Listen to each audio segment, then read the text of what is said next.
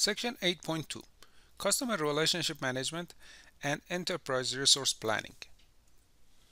The objectives intended for this section include explain operational and analytical customer relationship management, identify the core and extended areas of enterprise resource management, and discuss the current technologies organizations are integrating in enterprise resource planning systems.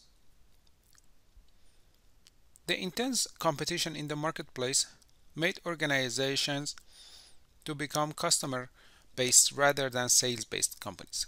Customer satisfaction is positively related to the sales increase and ultimately to, to the profitability of a company. So having detailed knowledge of customers' preferences and their shopping habits obtained from customer relationship mechanisms can help businesses keep their customers satisfied and loyal. Customer Relationship Management, or CRM, involves managing all aspects of a customer's relationship with an organization to increase customer loyalty and retention and an organization's profitability. The key players in CRM initiatives include lead, contact, account, and sales opportunity. The challenging part of CRM is to identify customers and the different types of channels through which they communicate with companies.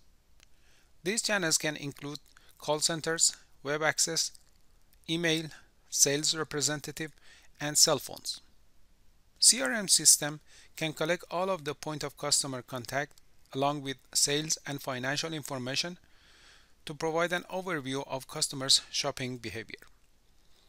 Tracking customers' record enables the company to communicate with them more effectively. Identifying the most valuable customers allows a company to provide the highest level of service to their special customers. CRM Analytics does this task by tracking three points. 1. How recently a customer purchased items. 2. How frequently a customer purchased items. And 3.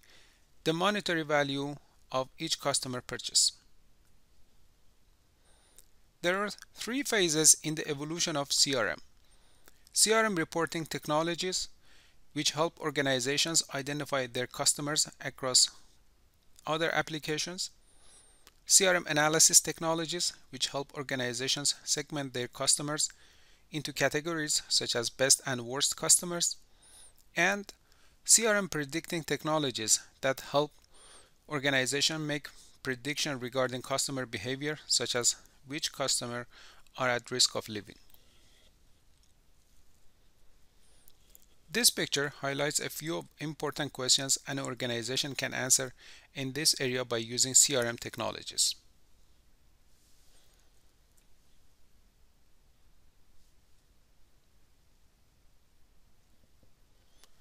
The standard rule of business is that the customer is always right.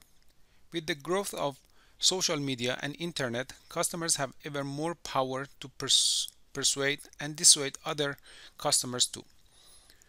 So companies should pay special attention to their relationship with customers and provide them with the best shopping experience.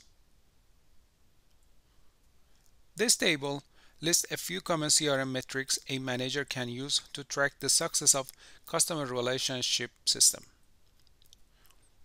The two primary components of a CRM strategy are operational and analytical CRM. Operational CRM supports traditional transactional processing for day-to-day -day front office operations or systems that deal directly with the customers.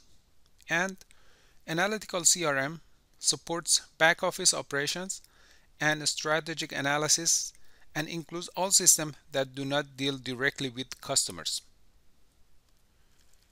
This picture provides an overview of operational and analytical CRM systems.